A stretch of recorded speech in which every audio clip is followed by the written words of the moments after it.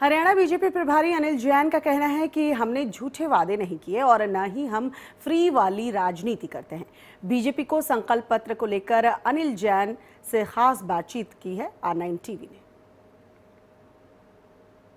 2024 तक हरियाणा के सपनों को साकार करने के लिए भाजपा ने घोषणा पत्र जारी किया है और संकल्प पत्र के रूप में दरअसल उनका विजन क्या है, इसी पर जाते हैं। जैन साहब 2024 तक का एक नया सपना आपने देखा हरियाणा को लेकर के, कितना साकार होते हुए देखते हैं और दरअसल जो दूसरी पार्टियों ने घोषणा पत्र जारी किया उनमें से तुलनात्मक आपका विजन क्या है? देखिए, हमने जो घोषणा पत्र इसको संकल्प पत्र कहा है, पिछली बार जो हमने संकल्प पत्र दिया था उसके आधार पर हमने प्रति पिछले पाँच साल काम किया और संकल्प पत्र के बाहर की भी बहुत सी चीज़ों को हमने लिया, समसामयिक चीज़ों को।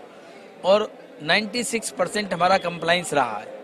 तो हम जो कहते हैं, उस पर उतरते, खरा उतरते हैं, ये हमारा विजन डॉक्यूमेंट है। हम इस विजन के आधार पर पाँच साल चलाएँगे और इसके साथ साथ जो समसामयिक चीज़ें होंगी, उनको इंक्लूड करेंगे, ऐसा हमारा मंतव्य है। ये माना जा रहा है कि कांग्रेस कह रही है कि हम अगर सत्ता में आए तो 300 यूनिट बिजली फ्री देंगे। आपके में बिजली को लेकर के कोई चर्चा नहीं है। वो कहते हैं कि हम पाँच हज़ार रुपए पेंशन देंगे। वो कहते हैं महिलाओं को सब कुछ फ्री देंगे। आपको लगता है कि फ्री वाली राजनीति ज़्यादा प्रभावी होती है?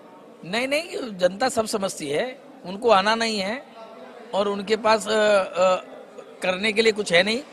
जिन राज्यों में उन्होंने अभी झूठ का पुलंदा पेश किया था अब वो सब पोल खुल रही हैं। हरियाणा छत्तीसगढ़ और मध्य प्रदेश की। मैं छत्तीसगढ़ का प्रभारी हूँ। मध्य प्रदेश मैंने चुनाव पूरा देखा है। तो अब ज्योतिरादित्य सिंधिया का स्टेटमेंट आ गया और जनता से माफ़ी मांग रहे हैं कि हम कर्ज माफ़ नहीं कर पाए। हम बेगार बेगारी भत्ता नहीं दे पाए। इसलिए ये जो कांग्रेस तो झूठ का पुलंदा पेश करती है, ढकोसला पत्र पेश करती है, एक बात। दूसरा, उनको जब ये पता है कि उनको आना ही नहीं है तो चाहे जो लिख दो, चाहे जो कर लो। तीसरी बात, हम लोगों को फ्री फ्री फ्री फ्री देकर लोगों के स्वाभिमान पर चोट नहीं करना चाहते। हम उनको वातावरण देते हैं सहूलियतें देते हैं जिससे लोग अपने पैरों पर खड़े हों देश अपना भला कर सकें प्रदेश का भला कर सकें और देश का भला कर सकें। हरियाणा में अमूमन देखा जाता है कि बुढ़ापा पेंशन वृद्धा पेंशन में हर साल सरकार बढ़ोतरी करती है। इस बार आपने लिखा है कि अपने की जो महँगाई भत्ता होगा उसके हिसाब से बढ़ोतरी की जाएगी। लगता नहीं कि जनता को आवश्यकता थी कि थोड़ा सा सरकार पेंशन देगी तो उन जो बुज़ुर्ग हैं जो वृद्धा हैं उनका माला माल होगा। एक हज़ार भी हमने करी और एक हज़ार से फिर दो हज़ार भी हमने करी और दो हज़ार से आगे हम महँगाई के साथ इसको जोड़कर जैसे जैसे महँगाई बढ़ेगी वैसे वैसे ये पेंशन बढ़ेगी ये हमने तय किया है।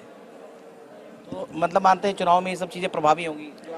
देखिए हमने रियलिस्टिक आधार पर सारी चीज़ें जनता के सामने पेश की हैं और हम जो कहते हैं वो करते हैं और जो हमने पीछे किया कहा है वो किया है। इसी के आधार पर हमने ये घोषणा पत्र अपना संकल्प पत्र बनाया है और इसमें कितने फाइनेंशियल इम्प्लीकेशंस आएँगे कैसे हम फाइनेंस जुटाएँगे? हमने इसकी पहले व्यवस्था के लिए तब किया है। ये अनिल जैन, जो हरियाणा के प्रभारी हैं, उनका साफ़ तौर पे कहना है कि वो अपना लक्ष्य प्राप्त करेंगे। इससे सबसे ज़्यादा खास बात यह है कि वो फ्री की राजनीति नहीं करना चाहते। वो जो भी राजनीति कर रहे हैं, उसमें धरातल और ठोस चीज़ें हैं। वीडियो जर्नलिस्ट सियाराम के साथ Kumar Ramesh R nine TV Chandigarh.